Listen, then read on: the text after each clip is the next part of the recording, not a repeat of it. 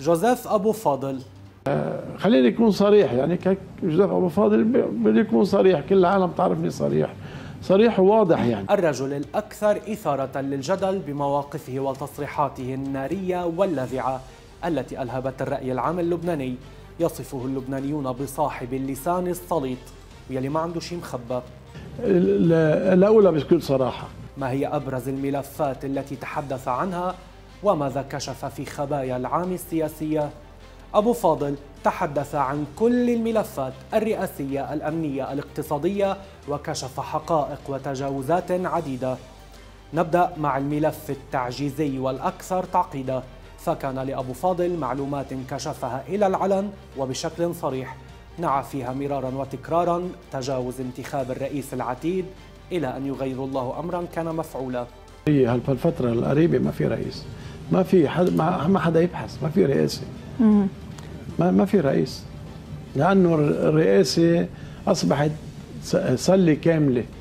مع قياده الجيش مع حاكمية مصرف لبنان مع مع مع مع مليون اليوم اللي صاير بالبلد إنه لا مسؤول آه، فيك تكمشي. كلهم مختفيين لا بس يوصل بو فهد بيختفيوا كلهم.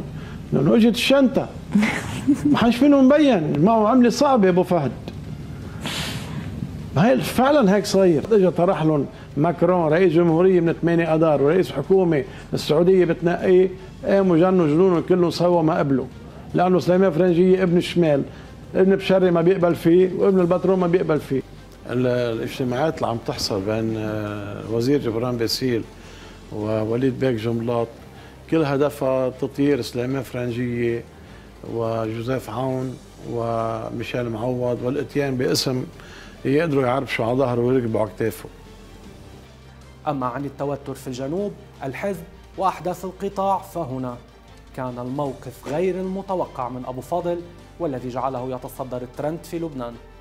إسرائيل خلص شر لابد منه حطوه زرعوه بالمنطقة ومن زمان من سنة 48 وهجروا الناس وقتلون وفجروا لهم بيوتهم وجوامعهم وكنايسهم وعلنا جاي واحد من بولونيا يهودي بيجي عند فلسطيني شو ما كانت طائفته بيقول له أنا بدي أخذ لك بيتك. بيقول له كيف بدك تأخذ لي بيتي؟ شو خصك فيه؟ بيقول له خليني أنا أخذه أحسن ما اخذه غير واحد يهودي جاي أنا بهتم لك فيه. بكل وقاحه في شيء ست روند لازم نشوفه. الأقصى بالنسبة للمسلمين هو آه، يعني مرجع رئيسي لهم وعندما تصالي على الأقصى والقدس آه، بتسقط كل يعني المفاعيل وكل العملية اللي صارت بإسرائيل. عملية يعني هاي بتدرس من الجامعات الأمنية والعسكرية والمعاهد والكليات. متصورة أنه 300 واحد يعني يعملوا عملية من هالنوع يفوتوا بين 35 و 40 كيلومتر يجيبوا بدهم يجيبوه ويفوتوا بيعملوا عمليات بيضربوا كاميرات قبل يعني عملية مشغولة من سنة 2020 ومكبوب عليها مال كثير وبعدين اللي رايحين مؤمنين إنه هن ممكن يستشهدوا في سبيل هذه القضية نعم. يعني إحنا عم نشوف ناس عملوا قضية بطولية انتحارية وفي آه وفي بينهم جيش يخشى منهم دائما ويخاف من عمليات الله بيخلص منهم كلهم بس العملية منا سهلة. يعني اللبنانيين مفكرين إنه حزب الله بده يعمل حرب يخرب البلد. مش صحيح الكلام ننتقل إلى ملعب المحامي والمحلل السياسي وهو انتقاد المسيحيين والزعماء المسيحيين. على رأسهم رئيس التيار الوطني الحر جبران باسيل وأيضا رئيس الجمهورية السابق العماد ميشيل عون.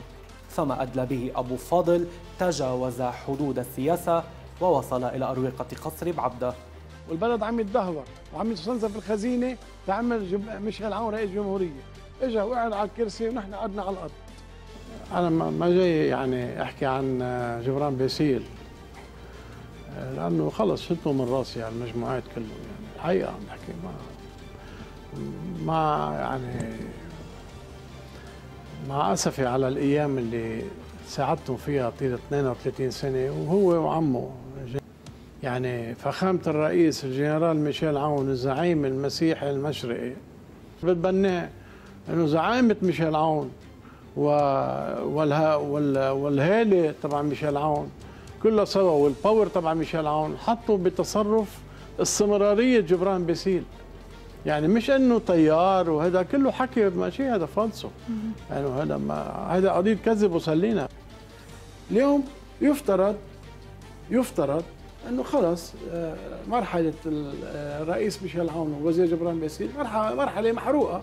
مهما يعمل لك انه اليوم عم بيبرم من البرلمان راح يعمل محاضرة يحكي عن المسيحية واحد مسيحي داعي عن المسيحيين المشرق. ما أنت مقتلين بالمسيحية ومهاجرين ومحبسينهم. المشكلة عند الرئيس عون ما هو مستقبل النائب جبران باسيل هل العقوبات الأمريكية. المحطوطة عليه بموضوع الفساد وماغنيسكي وكذا يحاول الرئيس عون ربطه بموضوع المفاوضات مع الأمريكيين لأنه الحل بايدهم وحده وسفر النائب بيسيل إلى قطر يصب في هذه الخانة في خانة التفاوض مع الأمريكيين من أجل رفع العقوبات عنه من خلال عبر القطريين.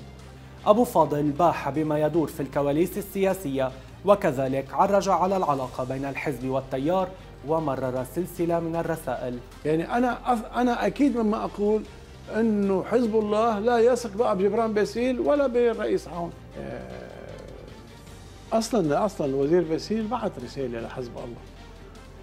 بعث رسالة قبل الانتخابات بأربع أيام. نعم.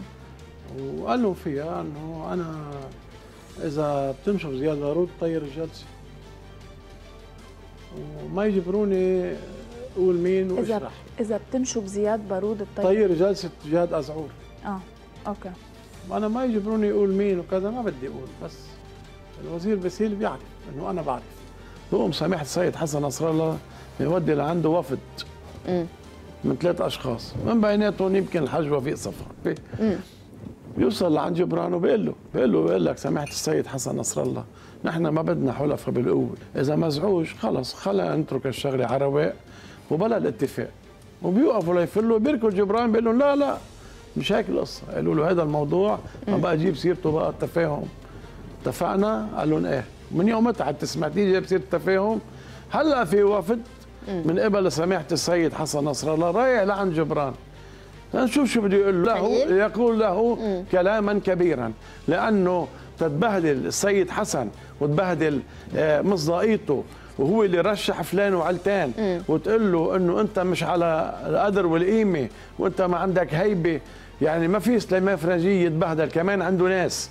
فيك تقول أنا ما بدي إياه. نعم. ما مش موافق علي بطريقة ما تهين الناس. ما تبهدل الناس مش بطريقة سوقيه. ما فيك تقول له أنت لابن فرنجية أنت مين؟ ما بتنقل وأنا لا تاخذني بالكلمة مطرح ما حط صباط يا اجلك هم الشيتي ما فينا نحط رؤوسهم كلهم. قلت حرامية. إف. أنا كافي مثل الثلج إف. إف. روق روق ليش ليش توترت؟ لا لأنه أنا كل مرة نفس الحديث بيحكوا معي. ليش استفزيت يعني من هذا الكلام؟ استفز لأنه مش مزبوط هالحكي. لأنه أنا اللي حكيه أنا وياهم وأنا اللي مضحى قدامهم وأنا اللي مخترع لهم إياه ما حدا عامله. ميدان آخر كان أبو فاضل لا يمزح به. وبالوثائق والمستندات كشف عن سلسلة من التجاوزات وبالأسماء فرض الأوراق على الطاولة فجابها وواجه آخر آه، يتفاعل وهو ما سمي بالفضيحة عبر تزوير وثائق ليتبين أن نقيب الأطباء البيطريين في لبنان الحالي هو آه، سوري الجنسية شيء آه، أنه في إخراج عيد مزور على أساسه يعني استحصل على كل شيء نتيجة هذا الإخراج العيد المزور قدر قدم وعمل نعيب للاطباء البيطريين. رزنامة 2023 الحافلة سياسيا تطوي صفحاتها الأخيرة بمواقف سياسية شكلت نقطة تحول ومنعطفات على الواقع اللبناني المأزوم. انعكست إما انفراجات أو انفجارات. فماذا ستحمل ال 2024 لنربط الأحزمة ونترقب.